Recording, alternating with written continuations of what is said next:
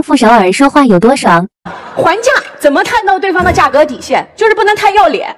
他敢说三百，我就敢问三十卖不卖？他肯定会骂我，骂我是好事，就怕他犹豫一下说好的，我就会后悔为什么不敢还到五块。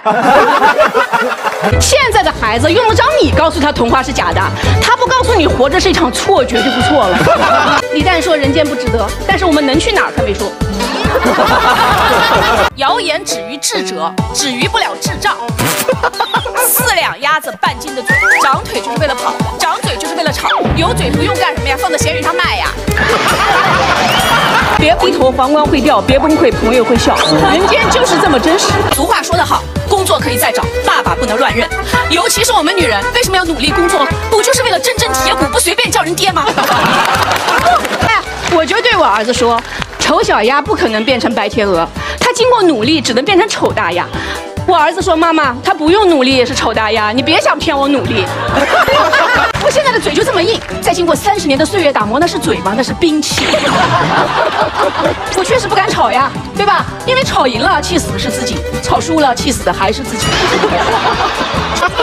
行，有周六；周六不行，还有周日。周日你还忙，全球你最忙。我就好奇，当初你是怎么争分夺秒把它生出来的呢？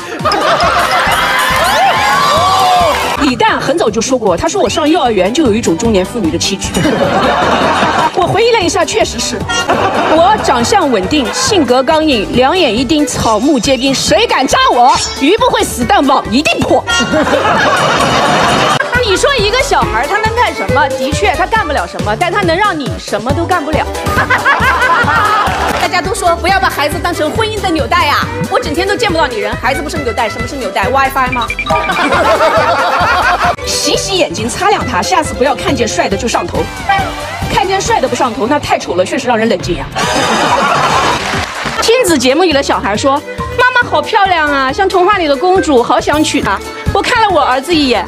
他冷笑一声问我：“这种苦，我爸一个人受还不够吗？” 能跟你天雷地火，搞昏了头去领证的都是俗人，得多俗的两个人才会结婚啊！结了婚你要求别人修行六根清净，怎么你以为自己是菩提吗？抱着你就顿悟了，还是以为自己是一本佛经，有了你就得到了呀？婚姻能不能教会你幸福不一定，教会你吵架是一定的。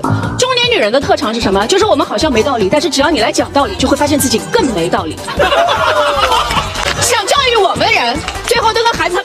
只能反省自己。两个人在一起不就是要互相洗脑吗？看谁洗得过谁，俗称沟通。人生这个巨大的荒漠啊，哪里还没有骆驼？压死一个换一个。结婚就是要找到那只最扛压的骆驼。哎，你都没时间陪孩子，还有时间陪老婆吗？你那么忙，结婚生子干嘛？搞行为艺术吗？超出我的能力，我就会告诉他家里不富裕，不然呢？我说老娘有的是钱，就是不想给你花。这种有病的回答孩子受得了吗？他会抑郁的，而且还会报复。晚上你教他写作业，他就会说：“我有的是智商，就是不学习。”